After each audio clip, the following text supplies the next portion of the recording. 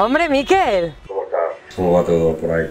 Pues mira, justo estoy parada en un atasco, ¿sabes? Una cosita. El programa ese que me han dicho que estás preparando sobre la policía, ¿eso va en serio o cómo?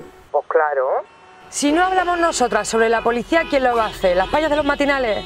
Pero tú estás segura de eso. Mira que nadie habla de eso, ¿eh? Que ni cuatro y poco más, ni partidos, ni medios de comunicación, por la será, ¿no?